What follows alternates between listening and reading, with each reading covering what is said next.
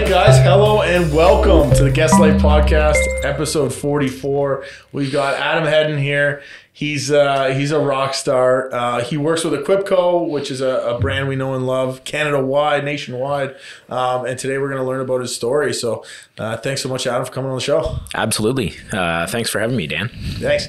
And uh, guys, everybody tuning in, obviously, we want to thank uh, you know all the listeners, all the viewers. Um, the show's here. You know, if my mom watches once in a while, I'm, I'm happy. But having everybody tune in is just uh, just takes it to that next level. Um, we really appreciate all your support, showcasing local talent and people that give back to the community and, and kind of take business and entrepreneurship to the next level. Um, is definitely a passion of ours here. And you know, getting people like Adam on the show, it, it just goes to show how much talent is out there, um, and kind of what it takes to be at that next level. So here we go. Yeah, I'm ready. So uh, tell us a little bit about Equipco. Um, we're getting into the HVAC industry, the plumbing industry, manufacturing industry. What does Equipco do? Tell us. yeah, so um, Equipco is a manufacturer representative, and and we'll kind of get to what a manufacturer representative is and what we do. But Equipco is a, a company that's Canada wide, as you mentioned, and uh, founded in 1982. So we're actually celebrating 40 years in business this year. No way. Uh, October 25th, uh, 1982 is when Equipco originated out of Vancouver, actually. Uh, Dick Reitenbach uh, founded the company. And today it's managed by five managing partners and five associate partners. Amazing. Um, we go coast to coast. So we start in uh, Coquit, uh, yeah, Coquitlam, BC, and that's where our head office is. But we go, we have offices all the way across Canada, right into Halifax, Nova Scotia. No shit. Um, yeah, we recently migrated into Quebec. Uh, but what we do as a manufacturer's rep is we represent um, manufacturers of plumbing, HVAC, hydronics, and some electrical companies as well. Uh, so instead of the manufacturer hiring uh, sales people to work for them directly, they hire an agency like ourselves to look after the line. Um, so what we do is we go out and um, we call in contractors like yourself. We uh, we're not so much out there just selling all the time. We're we're kind of more like a trusted advisor. So we pride ourselves on having industry experience and knowledge and that type of thing. Um, and we work with contractors, engineers, wholesalers. Um, architects, home builders, the list goes on and on. We even take, uh, you know, homeowner calls from time to time and go to homeowners' houses and Yeah. help diagnose issues with their equipment that we represent. Yeah, I remember when you when you reached out to us, I was blown away. I was just like, I, I just don't understand the concept here.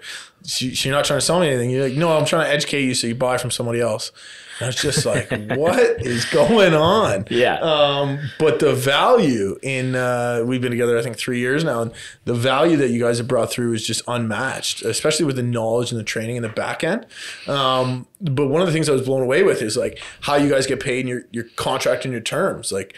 You know, you're talking about like, oh, if someone doesn't like you, what is it, 30 days?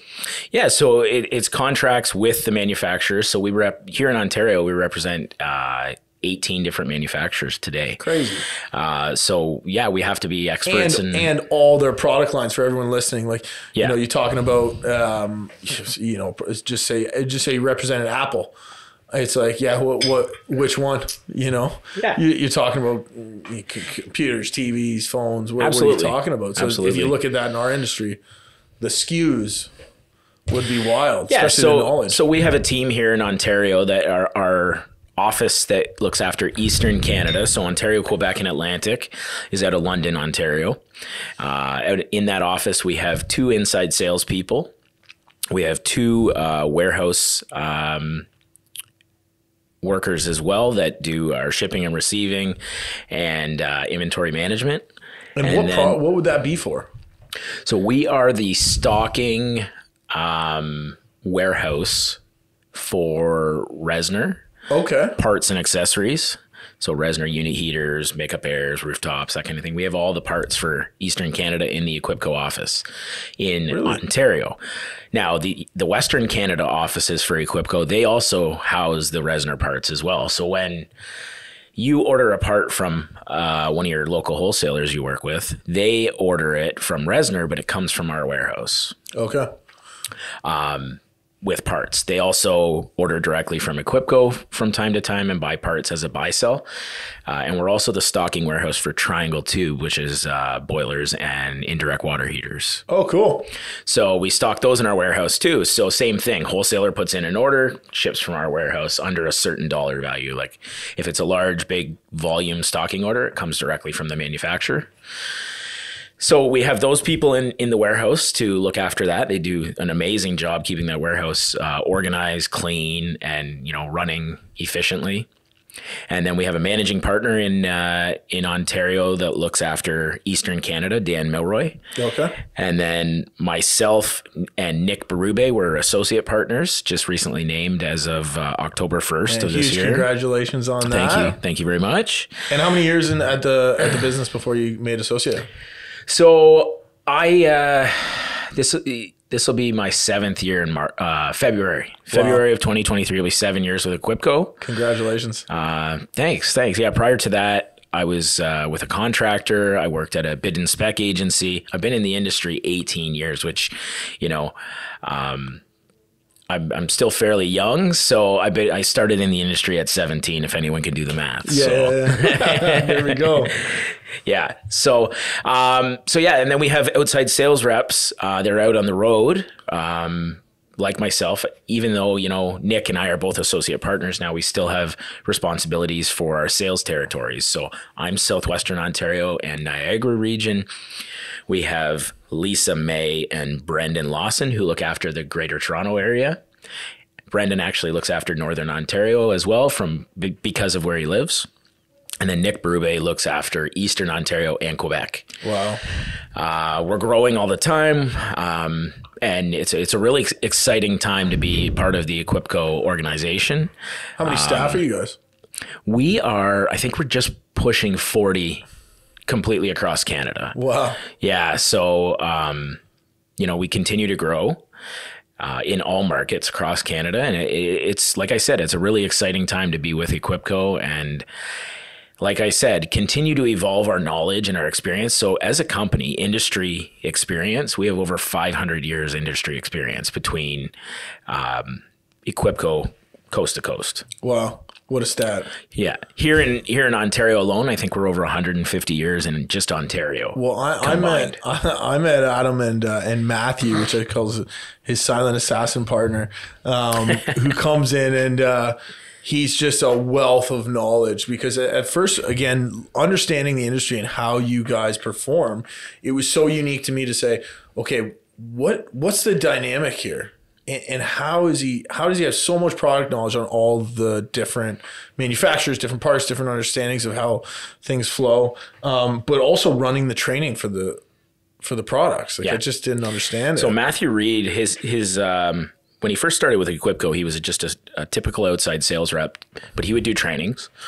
We all do trainings. I do trainings. He does trainings, but he has evolved to our like training um, lead. I'll call it. He is probably the one of the most technical people I have met in the industry in my 18 years. Like you can ask him anything about any product, even ones we don't represent, and he w- he will have an answer for you like off off the cuff, like right away. I'm like, how do you know all this stuff? Like, but uh, one of the most talented individuals in the industry when it comes to technical, like, and and the guy can talk, like he can present. There's there's trainings where people are falling asleep and stuff. You know, we've all been in them, right? yeah, yeah, for sure. Matthew has the, the class laughing, engaged, asking questions. Like he is, you know, not only very technical, but a great, great public speaker. So um, I've had the pleasure working alongside him. We've we've actually done presentations to uh, different organizations like Canadian Hydronics Conference in Ottawa a couple years ago, where we presented on water quality in a hydronic system with like 200 people in the audience. And Wow. and he's just a natural like you know he's really good so huge asset to our team as well um but yeah can't say enough about our team as a whole like we've we've really evolved as a team and come together and and like i said we we like helping you as a contractor or as an engineer build a spec that, that that's going to work for them. They don't have to worry about callbacks or anything like that. And same with the contractor. So Yeah, and there's a huge liability there that in, in terms of like taking it that you don't really, you know, manage. I find managing that relationship is so crucial, right? Like, yeah, you can have the great product, but like, what I always say, what happens when it go when what happens when it goes wrong? It's so easy to sell when everything's right, yeah, right? What happens when it goes wrong? And I think you guys kind of taking that, you know, forward thinking approach of like, call us, yeah, we're here to help. And with like we we don't get you know I would say we don't get the initial paid. We're actually just adding value to that relationship, which I think is so unique nowadays when a lot of stuff is you know buy and replace, buy and replace, buy and replace instead of you know buy repair or buy and diagnose um, w- when things come up. Um, how did you get involved in Equipco and obviously got taken to this part? Like, you know, talk about that entrepreneurial journey that you've taken. Yeah. So um, I've always kind of had, um, you know, the idea of entrepreneur in my in my head, in my in my uh, back pocket. When I was in college, I, I kind of ran a martial arts school on, you know, to kind of get me through college and stuff like that. And um, I really enjoyed that aspect of it. So I always knew it was somewhere I wanted to go. But the way I came into Equipco is I was working at um, at a contractor and I was doing project management, site visits, stuff like that, ex- like putting it together bid packages, energy audits on their equipment, that kind of thing. And uh, a family friend that's in the industry, the HVAC industry, uh, recommended me to the managing partner at Equipco at the time and said, "Listen, you should talk to this guy." I think he'd be a good fit. And I talked to him, and you know, it was once I once I got to meet him, um, I met one of the other managing partners from Equipco as well. Yeah. Talked to some of the staff, and I just said this this place is a perfect fit. Like I ne- I need to make this step. So I started as an outside sales rep uh, back in 2016, Okay. and um, then I moved to business development manager after about four years with the company, and then just recently moved to associate partner. So, kind of taking it step by step. Um, I'll tell you one thing like, you know, when you're having fun with your job and it's easy to get up and go to work every day, that says a lot. Yeah. And, um, you know, like I said, seven years in, in February, but it it honestly feels like two. Yeah, like sure. it just flew by because you know time flies when you're having fun, kind of thing. When it seems like I'm sure, like at the beginning, if someone said, "Oh, seven years to make associate partner," you'd be like, "Ah, that's a long time, right?" Yeah. But now it's like it's go time, right? I'm sure you'd look back and say, "Oh, that was a breeze." Yeah, it, it was worth it. I would wouldn't change it for anything. You know, that's um, that's definitely something that I think about. Like you know, you put the time in and and you get to where you're going and trust the process, kind of thing, right? Yeah, and talk about time. Like Adam, you know, he's you know he's coming in from London today to do the podcast, but he he comes into Hamilton and Ancaster, and then and then further, and then you're in out west, and you're driving a trailer around all the time. Like, talk about the journey in terms of like putting your time in from you know away from your kids, away from your family, volunteering at events, taking clients out, you know, showcasing product. Like, you know, someone wants to see something, you got to kind of be there, right? Absolutely. So, um, um, being organized and, and managing your calendar is a huge part of being a, su- a successful rep. There's a there's a tons of reps out there, but to be a successful one, you really need to be organized and, and manage your account, your calendar the same as you do as a business owner. Um, we're just planning things differently, right? Like so, instead of me sitting in an office working throughout the day, I'm driving in my office on wheels Yeah, yeah, yeah. to uh, Sometimes with a big ass trailer behind you. eh? sometimes with a big trailer on the back that is our sh- mobile showroom that we use for training. So, um, yeah, I am I am away from uh, my family from time to time. But uh, you know there are perks when I'm home uh, for extended periods of time, or I get to work from home from a home office from time to time. Um, but when I am home, I make the most of it. As you mentioned, you know, I have a family at home, two two young girls that are two and five, so they're um, a huge part of my my life and my wife. Um, so when I'm home, I make it count with them, right? I make sure I'm present in the moment. You know, not anyone can get overtaken by the amount of emails and phone calls and texts that come through on the business side, but you know, making sure that um, it doesn't overtake you when you're home too is a big part of it. Totally. And I think that's, you know, for anybody listening, like that's a huge differentiator. Like, you know, we, everyone talks, I don't know how you don't have any time or, oh, you must be so busy. I say, I'm very productive. Yeah. I don't say, I'm, oh, I'm so busy. I, I have time for anybody as long as you're going to, you know, take the time to respect it. You know what I mean? Set a meeting, organize, plan ahead, right? I can go for lunch. I can go for a coffee. I can go for dinner. It doesn't matter. It's just, Yeah. you know, might be in two months. yeah, exactly. Sometimes when the schedule does fill up, you know what I mean. You, you talk to talk to me, and it's it's you know what maybe maybe next year if you're in November December times. But yeah, that's that's kind of what I'm, you know, telling most people now is like, listen, I'm hey, in the new year, I, I let's set something up and let's put it in the calendar so it's in there because you know it, it does fill up uh, between you know business and personal. Um, you know, I can't always be on the road away from home. Like I do have a responsibility as a father and as a husband. So yeah, it's just it, it's managing the calendar, and it's completely doable if you stay organized. Um, but it can get away from you if you don't stay organized. So totally. yeah. Yeah, and where did that person like? Was there a person personal development journey plan in place where you're like, you know, what, I'm going to start working myself and I'm going to take this, or was it out of necessity based on, you know, some challenges that came up throughout your industry career? No, so so I grew up in the HVAC industry. Like like my dad is I don't want to say more than 35 years in the in the HVAC refrigeration industry now. Um, he's with um, a manufacturer actually. Um, Oh, an, an old line that Equipco used to rep. We actually competed on stuff, which was uh, friendly uh, banter back and forth at the dinner table sometimes. But um, I kind of grew up watching my dad do his thing. And, you know, when I was 12, 13, 14 years old in the summers when I was off school, there'd be time to times where I'd go on business trips with him. Yeah. And like ride around in the vehicle and we'd go from call to call to call and you know we'd be up in Owen Sound or like over in Windsor or all over so I just I saw what he was doing and I would you know it, maybe that's why it doesn't feel like work to me anymore because it's just Yeah. something I used to do with my dad right Yeah, like yeah. so I learned at a very young age what it took and uh my dad, you know, worked very hard at that point in time, and he was on the road all the time as well. Um, but like, you know, the same thing. He made sure that when he was home, he he made it count as well. So, um, that's kind of how I've just kind of evolved and and kind of mimicked what I've been doing um, to make sure that you know I keep moving forward and. It's like I said, I've said it a few times now. It, it just, it truly doesn't feel like work. It feels like a lifestyle. Yeah.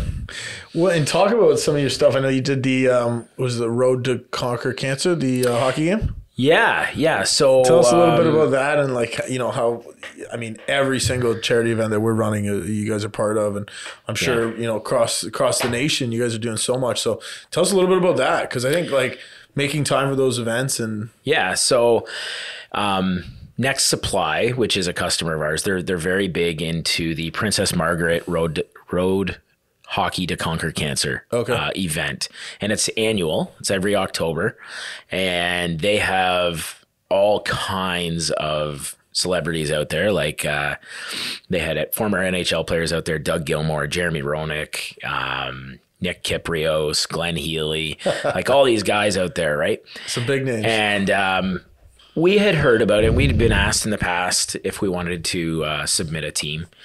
Uh, we weren't able to submit a full team this year, but we are we were all available. It was on a Saturday, so it was outside of our normal working hours. But you know, we're, we're happy to do things outside of normal business hour. We don't work truly work and you know nine to five, eight to four kind of schedule.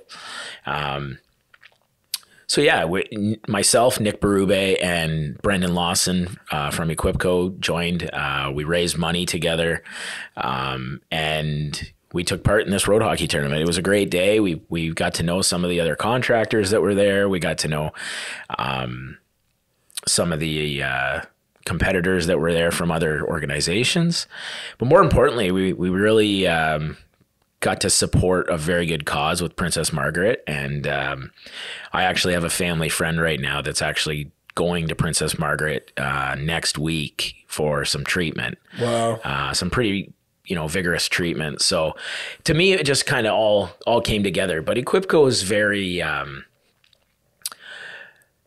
very aware of not a, I guess not aware, but they're very active in um, charitable events like that. Uh, we take part in, you know, last year during COVID, um, we did a drive where a fundraiser where we uh, delivered lunch to frontline workers at at uh, Victoria Hospital in London.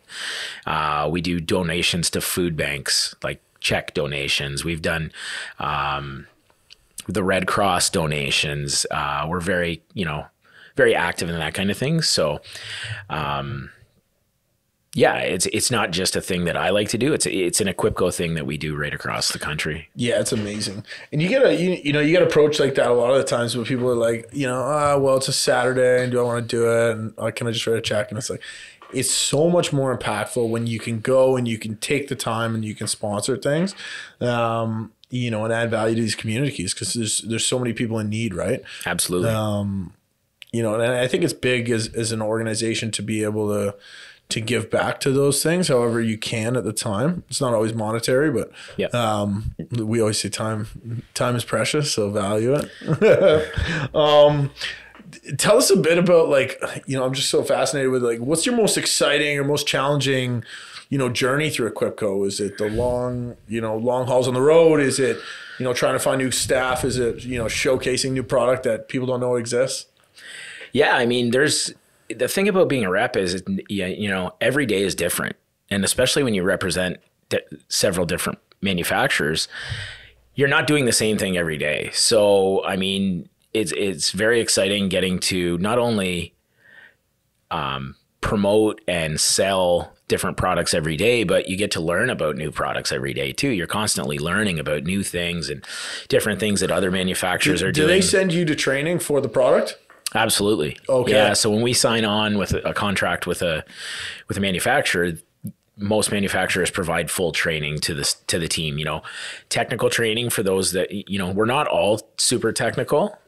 Um, but we do have technical people in place, so uh, we can do technical training. We do sales training. Um, we do, you know, some online, some in person. We do manufacturer visits where we actually go to the plant, understand how they're how they're you know building this stuff.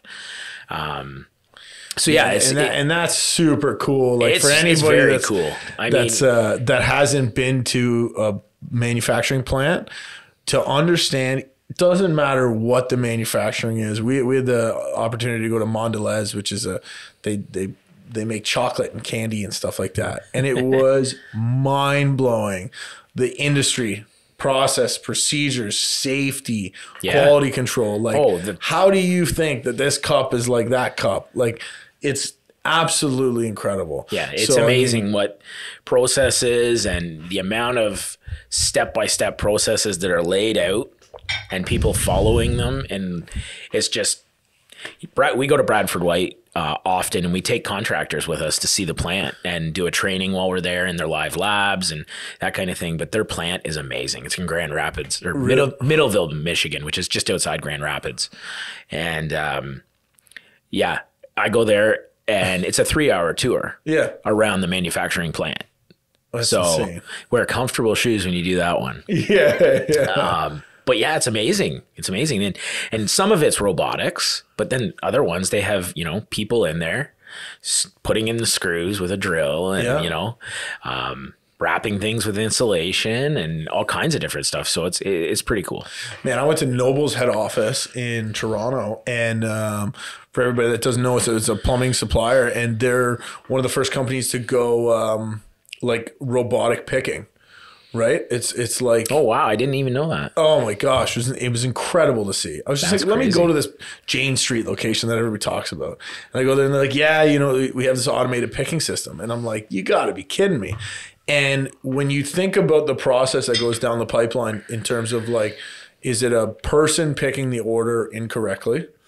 Or is it like the wrong order being placed? So, um, these companies that are creating these systems to, to you know, essentially add value to the end user.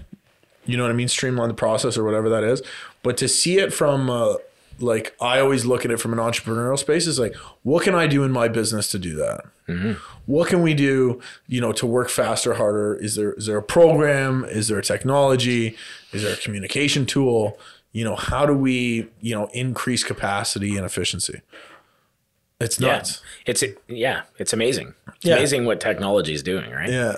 I always say whenever you can't do something, I, I quote uh, a buddy of mine's foreman. He goes, he goes, man, we send people to space. He goes, we can figure out this problem today. How true. yeah, yeah. Yeah. Um, so you know, we talked a little bit about work life balance.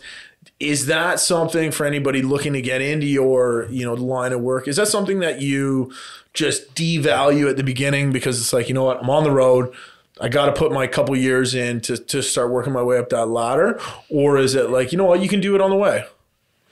Yeah, I mean, absolutely. You can do it on the way. I mean, Equipco is uh, very f- a family oriented business. And today, one of the managing, so it, it's still almost technically like families involved in the business. So Lauren Reitenbach is our managing partner in Alberta. Okay. And he's the nephew of Dick Reitenbach, who started the company. So family is a big important thing. Um, you know, everyone has close family that, you know, comes number one. So that work life balance kind of thing, it's important. Um, especially in today's day and age, you know, a lot of people, uh, you know, feel overwhelmed in, in today's climate and stuff like that. So make, making sure that, um, you know, your mind's fresh and that kind of thing, you, you do need a life away from work. Totally.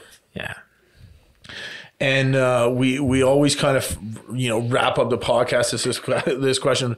But what advice would you give to your younger self getting into this type of career? that's, you know, uh, whether it's sales or That's a that's a good one. So um, when I was younger, I you know, and and you know, you're an entrepreneur and and motivated, so you're probably very similar to the way I was. But I was like, I wanted everything done like now. Like I I I wanted to, I wanted to make things happen, and I wanted them to happen like at a very fast rate. yeah, And today, you know, with my, I'll call experience, small experience in the industry, because there's, Yeah. a, there's a lot of people out there with much more experience than I have. Um, but what I've learned is, you know, trust the process, slow down, take it, you know, one day at a time, and and everything will work out. Like just trust the process. That's the biggest thing I could tell my younger self. Like everything doesn't have need to happen in an hour and a half. And how do you get into sales? Right? Like how do you become good at sales? Yeah, I Is mean, there's people, is it relationships? Like you know, I always said like, you know, we're, if we're trying to build a sales team, it's like, oh, I'm not good at selling. It's like, well, yeah. you know, did you find that was a challenge when you started?